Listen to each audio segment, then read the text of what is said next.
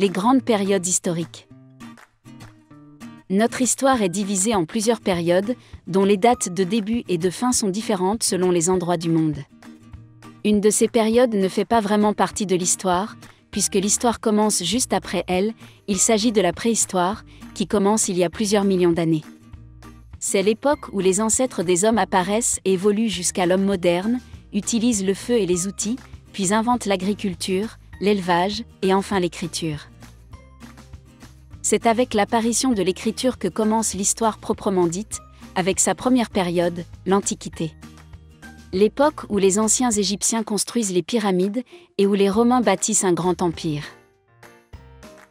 L'Antiquité finit avec la chute de l'Empire romain et est suivie par le Moyen Âge, le temps des chevaliers et des châteaux forts.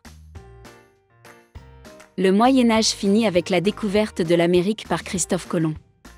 Nous entrons alors dans les temps modernes, l'époque des grands rois de France, François Ier, Louis XIV.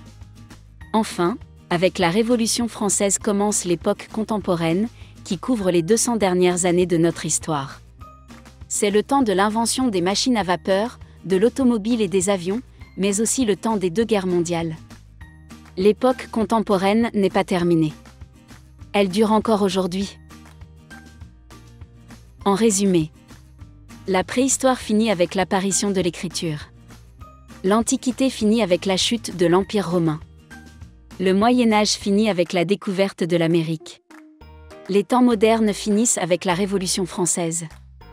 Et l'époque contemporaine n'est pas encore terminée.